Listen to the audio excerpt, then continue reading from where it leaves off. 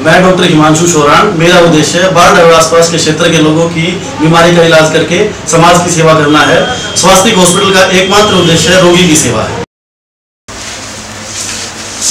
हमारे यहाँ बुक रोग व डिलीवरी की सुविधा 24 घंटे उपलब्ध है।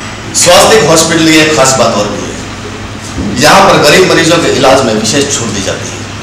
यहाँ तक कि उनकी ओपीडी फ़ीस व बेड का किराया भी नहीं दिया जाता। स्वास्थ्य हॉस्पिटल में 24 घंटे सर्जरी, एक्सरे व ईसीजी की विशेष सुविधा है।